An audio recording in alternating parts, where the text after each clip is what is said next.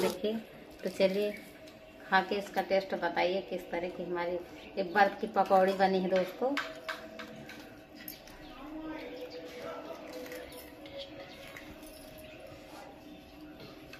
जल्दी जल्दी खाओ। टेस्टी बनी है? कितनी टेस्टी बनी है? बहुत। टेस्ट नमस्कार दोस्तों, आशा करती हूँ कि आप लोग जहाँ भी होंगे, अच्छे होंगे। तो दोस्तों, हमारे चैनल में आप लोगों को स्वागत है। तो आज हम आए हैं एक नई रेसिपी के साथ। तो चलिए आप लोगों को दिखाते कौन सी रेसिपी हम बनाएँगे। दोस्तों, आप लोगों को बता दें, नवरात्रि आने आने वाली है तो उसी की हम रेसिपी बनाएँगे। यहाँ पे हमने साबुन दानों को थोड़ी देर पहले हमने रखा था। अच्छी तरह से फूल गया है। ये देखिए ये देखिए। तो इसी का हम नाश्ता बनाएँगे दोस्तों। व्रत में खाने वाला है। खाने वाला नाश्ता बनाएँगे दोस्तों। तो चलिए, यहाँ पे हमने मिक्सी जार लिया है।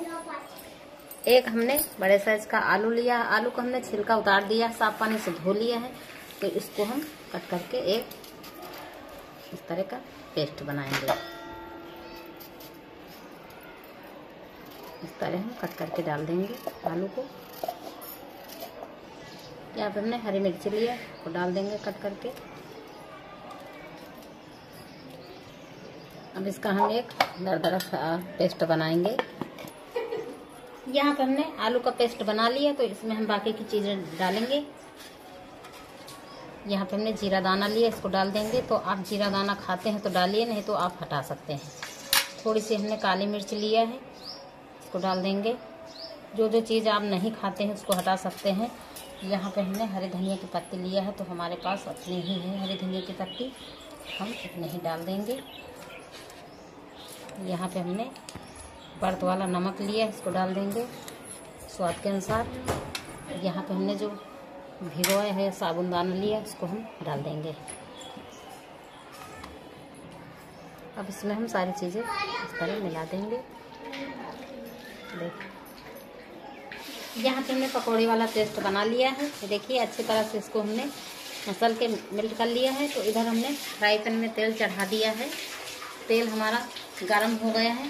तेल हमारा मूंगफली का है। आप चाहे तो घी में बना सकते हैं आप चाहे तो तिल्ली के तेल में बना सकते हैं। तो यहाँ पे हम इस तरह देखिए इनको हम डालते जाएँगे तेल में।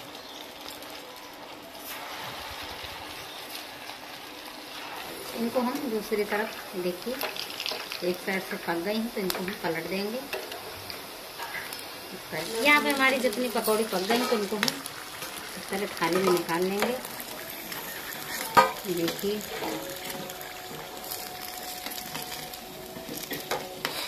यहाँ पे हमने इतनी पकौड़ी पका लिया इसी तरह सारी पका लेंगे, इसके बाद लोगों को दिखा रहे हैं।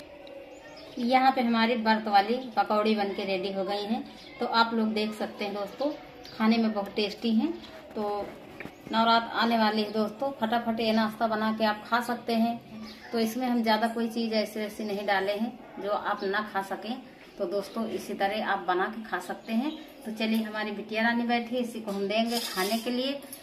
अभी खा के बताएगी किस तरह की बनी है। गरम है? यहाँ पे हम अपने बिटिया रानी को खिला रहे हैं। ये देखिए कितनी फूली फूली बनी है, आप लोग देख सकते हैं। देखिए तो चलिए खा के इसका टेस्ट बताइए किस तरह की हमारी, ये बर्फ़ की पकौड़ी बनी है दोस्तों।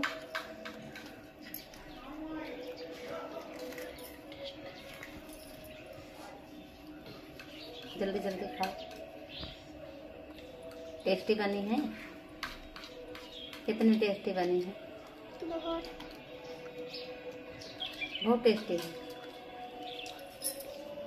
दोस्तों, यहाँ पे हमारी बिटिया रानी देखिए, बर्फ़ वाली पकौड़ी खा रही हैं तो आप इनको ऐसे ही बना के खा सकते हैं। तो दोस्तों, ये रेसिपी हमारी अच्छी लगी हो तो लाइक कमेंट सब्सक्राइब करना ना भूलिए। फिर मिलेंगे अगले वीडियो में, तब तक के लिए नमस्कार दोस्तों।